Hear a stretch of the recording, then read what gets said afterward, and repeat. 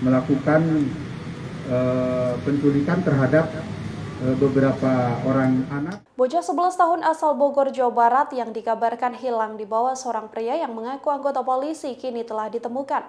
Dalam kasus ini terungkap pula bahwa tak hanya korban yang diculik oleh pelaku, terungkap bahwa sebanyak 10 bocah lain juga diculik dengan modus yang sama. Dikutip dari Tribunnews Bogor, pelaku adalah ARA 27 tahun warga Depok, Jawa Barat.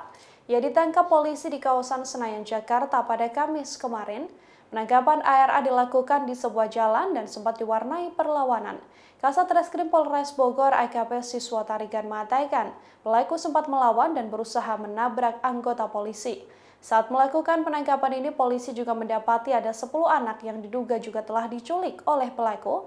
Para korban berjenis kelamin laki-laki dengan rentan usia 10 hingga 14 tahun. 10 orang tersebut diselamatkan polisi saat sedang berada di sebuah lokasi di Senayan, Jakarta. Diduga mereka merupakan korban penculikan anak berantai dari tersangka ARA di beberapa daerah. 10 anak tersebut kebanyakan berasal dari Jakarta Selatan, Jakarta Barat, Jakarta Pusat, hingga Tangerang Selatan. Saat ini kepolisian masih mendalami motif dari pelaku. Namun diduga pelaku ARA ini mempunyai kecenderungan kelainan seksual. Dalam pengungkapan ini, polisi berhasil menyita barang bukti berupa sejumlah ponsel, motor, pakaian, helm, hingga tas hitam berisi tulisan Polda Metro Jaya. Dalam melancarkan aksinya, pelaku menggunakan modus sebagai anggota polisi. Ia pun mengaku sebagai Satgas COVID-19 dan menangkap anak-anak yang tidak mengenakan masker.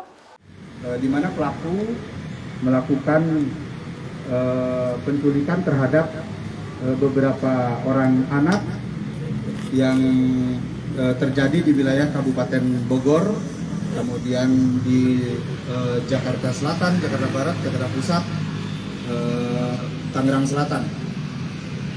Saat ini dari tim Satreskrim Polres Bogor bersama-sama dibantu dengan uh, Intel Brimob Kedung Halang telah melakukan uh, penangkapan terhadap uh, seseorang dengan inisial A ARA